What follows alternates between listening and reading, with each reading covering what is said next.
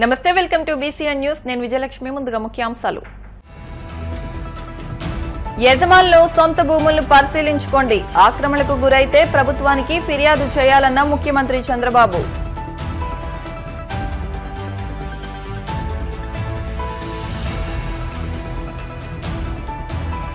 నర్సీపట్నంలో ఏర్పాటు చేసిన అన్నా క్యాంటీన్ పనుల పరిశీలన ఆగస్టు పదిహేను నుంచి పునఃప్రారంభిస్తామన్న స్పీకర్ అయ్యన్న.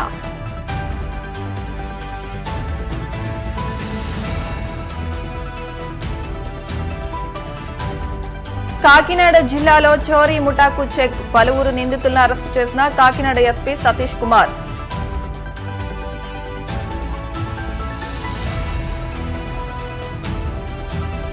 కర్నూలు అనంతపురం ఉమ్మడి జిల్లాల్లో పర్యాటకాన్ని అభివృద్ధి చేస్తాం. ప్రత్యేక ప్రణాళికలు రూపొందిస్తున్నామన్న మంత్రి కందుల దుర్గేష్. గత ప్రభుత్వంలో వైసీపీ నాయకులు పేదలపై ప్రతాపం చూపారని భూములు ఆస్తులను బలవంతంగా లాక్కున్నారని ముఖ్యమంత్రి చంద్రబాబు నాయుడు పేర్కొన్నారు. అమరావతిలోని సచివాలయంలో భూమి గన్లు అటవీ సంపదపై శ్వేతపత్రాలు విడుదల చేసిన అనంతరం అనేక అంశాలపై పవర్ పాయింట్ ప్రజెంటేషన్ ఇచ్చారు. ప్రజలు తమ భూములు ఆస్తులు తమ పేరిటే ఉన్నాయా లేదా అని పరిశీలన చేసుకోవాలని కోరారు. భూములు తమ పేరిట లేకున్నా ఎవరైనా బలవంతంగా దౌర్జన్యంగా లాక్కున్నా వెంటనే ప్రభుత్వానికి ఫిర్యాదు చేయాలని సూచించారు. అలాగే గన్ల లీజులను భయపెట్టి లాక్కున్నా ప్రభుత్వానికి చేయాలన్నారు. ఇందుకోసం ప్రత్యేక టోల్ ఫ్రీ నెంబర్ ఏర్పాటు చేస్తామని జరిగిన అన్యాయాన్ని ధైర్యంగా ప్రభుత్వానికి ఫిర్యాదు చేయాలని సూచించారు. భూములు ఆస్తులు గన్ల లీజులు తిరిగి మీకే ఇప్పిస్తామని ఈ ప్రభుత్వం మీకు అన్ని విధాలా అండగా ఉంటుందని ప్రజలకు భరోసా ఇచ్చారు. నేరస్తులు అందులో కూడా ఆర్థిక ఉగ్రవాదులు. ఎలాంటి పందాన్ని ఎంపిక చేసుకుంటారనుకోనికి ఇది ఒక ఉదాహరణ. ఇవన్నీ కూడా మీరు చూస్తే ఒక పక్క పట్టణ ప్రాంతాల్లో ఉండే భూములు. నేను ఎగ్జాంపుల్ మాత్రం ఇస్తున్నా. ఇంకా చాలా ఉన్నాయి. కావలి నెల్లూరు ఏ టౌన్ చూసినా ఏమో ధర్మవరం మీరు చూశారు. మార్నింగ్ వాక్ ఏం చేశాడో. కాబట్టి అవన్నీ ఉన్నాయి మా వాళ్ళు అవన్నీ కంపేర్ చేయలేకపోయారు. అవన్నీ కూడా కంపేర్ చేస్తాం. విశాఖపట్నం ఒంగోలు తిరుపతి చిత్తూరు ఒకే స్టడీ. అంతవరకే ఇవ్వగలిగాం. అదే మరి కొత్తగా ఒక మెథడ్ ఎస్టాబ్లిష్ చేశారు. అవుట్ సైడ్స్ పేరుతో. ఎక్కడికక్కడ. ఇష్టానుసారంగా అధికార దుర్వినియోగం చేసి ఆ కొండే భూమిని ముందే వీళ్ళు కొంటారు. ఒక స్మాల్ ట్రాన్సాక్షన్ చేస్తారు. ఆ ట్రాన్సాక్షన్ అబ్నార్మల్గా చేస్తారు. అదే మార్కెట్ రేటుగా చూపిస్తారు. దానికి టూ అండ్ హాఫ్ టైమ్స్ డబ్బులు ఇస్తారు. అంటే ఇది ఒక పెద్ద ఫ్రాడ్ చేసే పరిస్థితికి వచ్చారు. అవి కూడా ఎక్స్ప్లెయిన్ చేస్తాం కొన్నిటి వరకు. ఇంకొక పక్కన వీళ్ళ ఆఫీసులకి ఇచ్చేటప్పుడు అన్ని ఆఫీసులకి ఇవ్వాలి. ఇక్కడుండే మీడియాకు కూడా మీకు కూడా ఎస్టాబ్లిష్ చేయలేకపోయారు. ఇరవై రెండు ఆఫీసులు నలభై మూడు నలభై ఒక ఎకరా. ఎక్కడికక్కడ ఒక అడ్వాన్స్ ప్యాలెస్లు కట్టేసే పరిస్థితికి వచ్చారు. ప్రజాస్వామ్యానికే గంతలు కట్టే పరిస్థితికి వచ్చారు. మీ అందరూ కూడా ఎవరు ఎస్టాబ్లిష్ ఎవరు ఎక్స్పెక్ట్ చేయనటువంటి పరిణామం తీసుకొచ్చారు. ఇంకొక పక్కన అసైన్మెంట్ ఆఫ్ ల్యాండ్. అనర్హులకి వీళ్ళ కార్యకర్తలకి వీళ్ళ ఎమ్మెల్యేలు వీళ్ళ బినామీలకి ఇష్టానుసారంగా అసైన్మెంట్ ఆఫ్ ల్యాండ్స్ అన్ని ఇన్ఎలిజిబుల్ పర్సన్స్కి ఇచ్చారు. ఇంకొక పక్కన మీరు చూస్తే అసైన్డ్ ల్యాండ్స్. ఇది చాలా నేరం పిఓటి కింద. అలాంటి భూమిని వేరే వాళ్ళు ముందు కల్టివేట్ చేసుకొని వాళ్ళు రికార్డ్ చేసుకుంటే దాన్ని ఫ్రీ హోల్డ్ చేసి రెగ్యులరైజ్ చేశారు.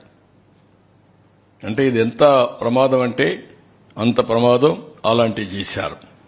అదే సమయంలో ఇంకా లాస్ట్ కొంచెం రీసర్వే పేరుతో భూముల బౌండరీసే మార్చేశారు. ఇంకొక పక్క ఏపీ ల్యాండ్ టైటిలింగ్ యాక్ట్.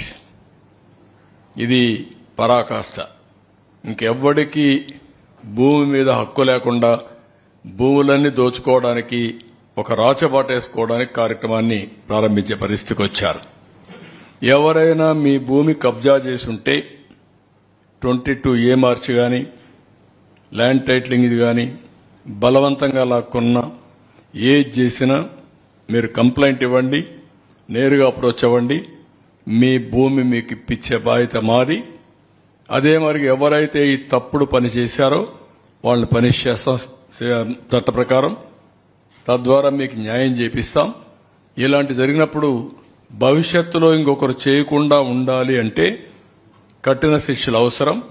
మళ్ళీ మీరు కూడా ధైర్యంగా ముందుకొచ్చి మీ భూమి పరిరక్షించుకుంటే భవిష్యత్తులో ఇలాంటి చేయాలంటే కూడా ఎవడైనా భయపడదు రాష్ట్ర వ్యాప్తంగా ఆగస్టు పదిహేను నుంచి అన్నా క్యాంటీన్లు ప్రారంభించేందుకు ప్రభుత్వం చర్యలు చేపట్టింది. అనకాపల్లి జిల్లా నర్సీపట్నంలో ఏర్పాటు చేసిన అన్నా క్యాంటీన్ పనులను స్పీకర్ అయ్యన్న పాత్రుడు పరిశీలించారు. ఈ మేరకు ఆయన మాట్లాడుతూ నర్సీపట్నంలో నాలుగు రోజుల ముందుగానే ప్రారంభించేలా చర్యలు చేపట్టినట్టు తెలిపారు. తమ సొంత అవసరాల మీద పట్టణ ప్రాంతాలకు వచ్చే పేదలకు తక్కువ ధరకు భోజనం అందించడమే అన్నా క్యాంటీన్ల ఉద్దేశమన్నారు. గత ప్రభుత్వ హయాంలో వీటిని మూసివేయడమే కాకుండా కొన్ని చోట్ల ధ్వంసం చేశారని అన్ని అసెంబ్లీ నియోజకవర్గ కేంద్రాల్లో స్వాతంత్ర దినోత్సవం రోజు నుంచి పూర్తి స్థాయిలో నిర్వహించేందుకు ఏర్పాట్లు చేస్తున్నట్టు తెలిపారు. ప్రభుత్వం అన్నా క్యాంటీన్ని రాష్ట్ర వ్యాప్తంగా ఏ విధంగా ముంచారో మీకు తెలుసు. ఇంకేది చంద్రబాబు నాయుడు గారు ముఖ్యమంత్రికి ఉన్నప్పుడు అప్పుడు నేను కూడా మంత్రిగా ఉన్నాను. అన్నా క్యాంటీన్ పెట్టాలని చెప్పి నిర్ణయం తీసుకున్నాం. ఎందుకు తీసుకున్నామంటే చాలామంది పేదవారు ఉన్నారు. ఏ టౌన్లోకి ఏదో పని మీద వస్తూ ఉంటారు హాస్పిటల్ పని మీద ఏదో పని మీద వస్తుంటారు ఇచ్చం హోటల్కి వెళ్ళాలంటే కష్టం కాబట్టి అటువంటి వారి అందరికీ కూడా రాష్ట్ర వ్యాప్తంగా అన్ని నియోజకవర్గాల్లో కూడా చెయ్యాలని ఒక నిర్ణయం తీసుకోవడం జరిగింది ఆ రోజు. ఆ నిర్ణయం ప్రకారంగా మన నియోజకవర్గంలో కూడా ఇక్కడ అన్న క్యాంటీన్ రన్ చేసాం బ్రహ్మాండంగా రన్ చేసాం ప్రభుత్వం ద్వారా. తర్వాత ఈ ప్రభుత్వం వచ్చిన తర్వాత ఏదో కక్ష సాధింపు చంద్రబాబు నాయుడు గారు పెట్టారు కాబట్టి మేము ఉంచకూడదన్న నిర్ణయంతో మొత్తం రాష్ట్ర వ్యాప్తంగా అన్నా క్యాంటీన్లు ఆఫ్ చేశారు. కొన్ని చోట్ల అయితే కొన్ని ప్రాంతాల్లో అయితే అన్నా క్యాంటీన్ని ధ్వంసం చేశారు ఏంటో కక్ష నాకు తెలియదు మరి ఇది చేశారు. మరి అప్పటి నుంచి కూడా మళ్ళీ మన ప్రభుత్వం వచ్చేసరికి పెట్టాలని నిర్ణయంకి వచ్చాం నేనైతే నర్సీపట్నం మాత్రం అయితే ప్రభుత్వం పెట్టబో పెట్టకపోయినా గత ప్రభుత్వంలో నేను పెట్టాలని చెప్పి డిసైడ్ చేసుకొని ఒక వ్యాన్ తయారు చేసుకొని ఆ వ్యాన్ మీద ప్రతిరోజు కూడా ఒక ఐదు వందల మందికి రెండు రూపాయలకి భోజనం పెట్టాలని చెప్పి నిర్ణయం తీసుకొని నేనైతే కంటిన్యూ చేశాను. నాతో పాటు చాలా మంది రాష్ట్రంలో ఒక ఇరవై ముప్పై మంది ఎమ్మెల్యేలు ఎమ్మెల్యే క్యాండిడేట్లు అందరూ కూడా చేశారు. కొన్ని ఇబ్బందులు ఉన్నా నేను కూడా రెండు రూపాయలకి భోజనం పెట్టి ఒక రోజు ప్రతిరోజు నర్సీపట్నం పెడుతున్నాం. ఇప్పుడు వరకు. మళ్ళీ చంద్రబాబు గారు మొన్న ఓ నిర్ణయం తీసుకొని అన్నా క్యాంటీన్లు ఓపెన్ చేయాలని చెప్పి ఒక నిర్ణయం తీసుకోవడం జరిగింది. దాని ప్రకారంగా మళ్ళీ వీళ్ళు ఈవేళ ఈ బిల్డింగ్ పూర్తిగా తయారు చేయడం జరిగింది. అయితే రేపు ఆగస్టు పదిహేనో తారీఖు నుంచి అన్నా క్యాంటీన్లు ప్రారంభించాలని చెప్పి రాష్ట్ర వ్యాప్తంగా ప్రారంభించాలని చెప్పి ప్రభుత్వం ఒక నిర్ణయం తీసుకుంది. అయితే నేను స్పీకర్గా ఆగస్టు పదిహేనో తారీఖు పదిహేనో తారీఖు నేను ఉండలేదు అంటే అసెంబ్లీలో నేను జెండా వందనం చేయాలి? అసెంబ్లీలో కంపల్సరీగా వెళ్ళాలి కాబట్టి పదిహేనో తారీఖు నేను ఉండలేదు అంచేత పదిహేను కంటే ముందు ఒక నాలుగైదు రోజుల ముందు ఇక్కడ ఓపెన్ చేద్దామని చెప్పి నేను అనుకుంటున్నాను. ఆర్డో గారు అంతా కూర్చొని మాట్లాడి మా మా నాయకులంతా కూర్చొని ఈ ఆషాఢ మాసం ఏదో ఉంది ఇప్పుడు. మంచిది కాదు కాబట్టి ఆషాఢ మాసం అయిపోయిన వెంటనే పదిహేను తారీఖు అంటే ముందు ఐదో తారీఖునో ఆరో తారీఖున మంచిది చూసుకొని మన నర్సీపట్ల ముందుగానే ఓపెన్ చేస్తానని చెప్పి పదిహేను తారీఖున ఉండలేదు కాబట్టి. కర్నూలు అనంతపురం ఉమ్మడి జిల్లాలను కలుపుకుని టూరిజం హబ్గా అభివృద్ది చేసేందుకు ప్రత్యేక ప్రణాళికలు రూపొందిస్తున్నామని ఏపీ పర్యాటక సినిమాటోగ్రఫీ సాంస్కృతిక శాఖ మంత్రి కందుల దుర్గేష్ తెలిపారు. నంద్యాలలోని ప్రభుత్వ అతిథి గృహంలో న్యాయశాఖ మంత్రి ఎన్ఎండి ఫరూక్తో కలిసి ఆయన మీడియాతో మాట్లాడుతూ నంద్యాల జిల్లాలో ఉన్న రిసార్ట్స్ను బలోపేతం చేయడంతో పాటు రిసార్ట్స్ లేని చోట్ల త్వరలో వాటిని నిర్మించి పర్యాటకులకు అందుబాటులోకి తెస్తామన్నారు. పర్యాటక శాఖలో పెట్టుబడులు పెట్టేందుకు అనేక మంది ముందుకు చేస్తున్నారని అలాంటి వారి సహకారంతో నంద్యాల జిల్లాను పర్యాటక కేంద్రంగా మరింత అభివృద్ది చేస్తామన్నారు. కేంద్ర ప్రభుత్వ పథకాలైన స్వదేశీ దర్శన్ ప్రసాదం స్కీంలను ఉపయోగించుకుని దేవాలయాల వద్ద టూరిజాన్ని అభివృద్ది చేయడంతో పాటు సందర్శకులకు అన్ని రకాల సౌకర్యాలు కల్పిస్తామని చెప్పారు. నంద్యాల జిల్లాలో అదేవిధంగా పూర్వపు కర్నూలు జిల్లా పూర్వపు అనంతపురం జిల్లా కలిపి టూరిజంకి ఒక డివిజన్గా ఏర్పడింది. దానికి సంబంధించి ఒక రివ్యూ చేద్దాం అనేటువంటి ఆలోచనతోటి రావడం జరిగింది. రివ్యూ మళ్ళీ చేయాల్సి ఉంది. ఏదైనప్పటికీ కూడా ఈ డివిజన్ అనేక రకాలైనటువంటి దేవాలయాలతో అదేవిధంగా అద్భుతమైనటువంటి అటవీ సంపత్తోటి ఎంతో ప్రసిద్ధిగాంచినటువంటి నవనందులు ఉన్నటువంటి ప్రాంతంగా ఈ ప్రాంతం ఉంది. ఇక్కడ ఉన్నటువంటి వేలుం గుహలు కూడా ఆస్ట్రేలియాని రెండవ అతి పొడవైనటువంటి గుహలుగా పేరు. అందులోనే ఉన్నటువంటి వాల్మీకి గుహలు కానీ ఇవన్నీ కూడా చాలా సుందరంగా ఉన్నటువంటి ప్రాంతం. వీటన్నిటినీ కూడా ఎక్కువ మంది పర్యాటకులను ఆకర్షించడానికి వీటికి సదుపాయాలు కల్పించడం ఎలాగా ఫెసిలిటీస్ ఇంప్రూవ్ చేయడం ఎలాగనేటువంటి దాన్ని కూడా ఆలోచించాలి. అదేవిధంగా ఇదే ప్రాంతంలో శ్రీశైలం ఉండటం. అదేవిధంగా మనకి ఇక్కడ వరకు నంద్యాలలో చూసుకుంటే అహోబిలం అదేవిధంగా యాగంటి మహానంది ఈ రకమైనటువంటివి వాటితో పాటు మన అనంతపూర్ డిస్టిక్లోకి వచ్చేప్పటికి లేపాక్షి కానీ అదేవిధంగా పుట్టపర్తి కానీ అవి కూడా ఉన్నాయి. డివిజన్ వరకు చూసుకుంటే. ఇలాంటివన్నిటిని కూడా ఒక పర్యాటకులను ఎక్కువ మందిని ఆకర్షించే విధంగా టెంపుల్ టూరిజం ఏ రకంగా చేయాలనేటువంటిది సమీక్షలో ప్రధానంగా కూడా మాట్లాడడం జరుగుతుంది. అదేవిధంగా ఇప్పుడు అక్కడికి వచ్చినటువంటి పర్యాటకులకి సరైనటువంటి వసతి సదుపాయం ఏమన్నా ఉందా లేదా అనేటువంటిది కూడా ఈ సమీక్షలో మేము పరీక్షించడం జరుగుతుంది. అందులో భాగంగా ముఖ్యంగా ఈ బేలుం గుహల దగ్గరికి వచ్చేటప్పటికి ఆ బేలుం కేవ్స్ దగ్గరికి వచ్చేటప్పటికి అక్కడ ఏదో డార్మెటరీ లాంటిది ఉంది తప్పితే సరైనటువంటి ఒక రిసార్ట్ లాంటిది లేదు. ఎవరైనా అక్కడ స్టే చేసి తిరిగి మళ్ళీ ఒక రోజు ఉండి వెళ్ళాలంటే మాత్రం సరైన సదుపాయాలు లేవు. ఈ వాష్రూమ్స్ కానీ ఇటువంటివి. అటువంటి వాటి మీద కూడా మేము సమీక్ష చేసి రేపొద్దున ఆ సదుపాయాలు కల్పిస్తే ఇంకా ఎక్కువ మందిని మనం ఆకర్షించుకోవాలి అదేవిధంగా ఇప్పుడు మంత్రి గారు చెప్పిన విధంగా ఇక్కడికి వచ్చేటప్పటికి మనకి ఇక్కడ ఒక రిసార్ట్ అనేది సరైనది లేదు.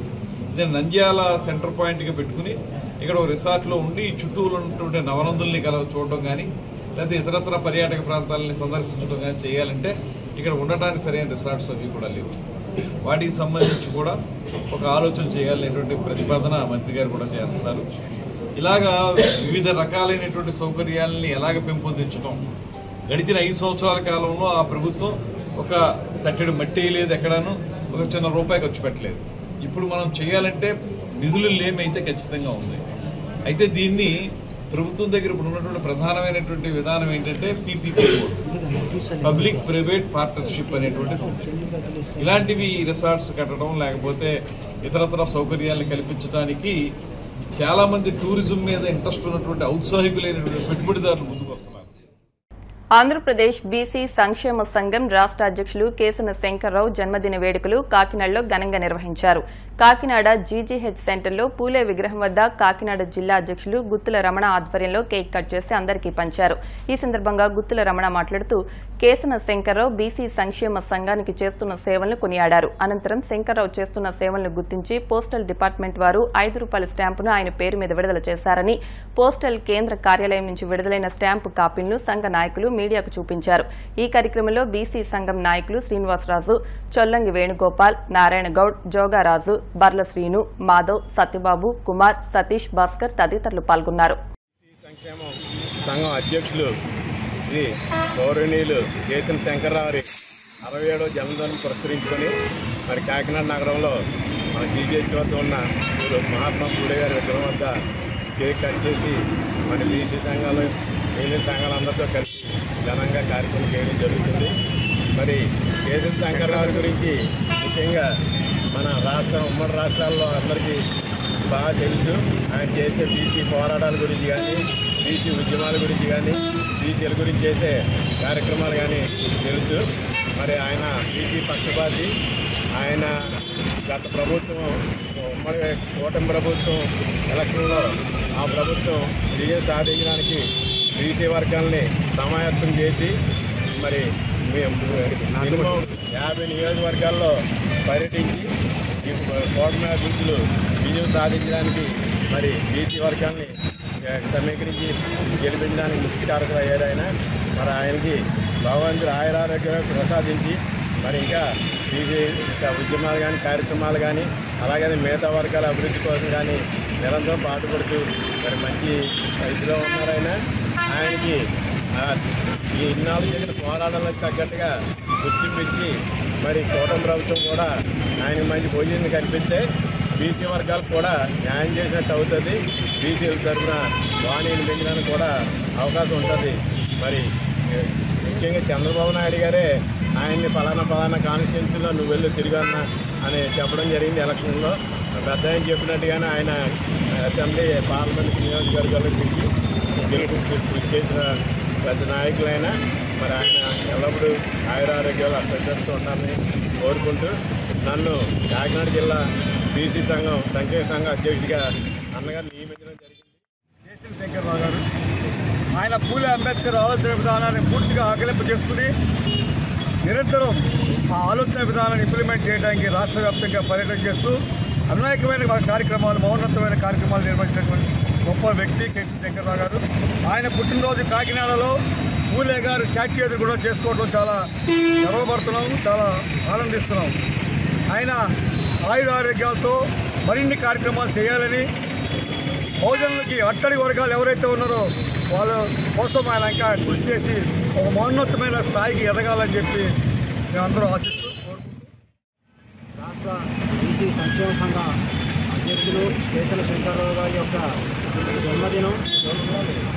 ఇంకొకటి ఏంటంటే ఈ యొక్క ఈ ఆంధ్రప్రదేశ్ రాష్ట్ర బీసీ సంక్షేమ సంఘం యొక్క ఆవిర్భావ దినోత్సవం కూడా ఈరోజు.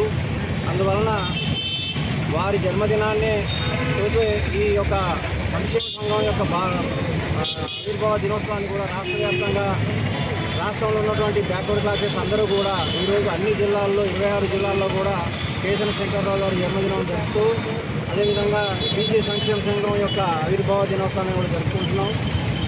ఈ రకంగా ఈరోజు జిల్లా అధ్యక్షులుగా ముత్తుల రమణ గారిని వారు మొన్న రాష్ట్ర కార్యవర్గ సమావేశంలో మంగళగిరిలో నియమించడం జరిగింది. ఇప్పుడు కాసేపు ప్రకటనలు.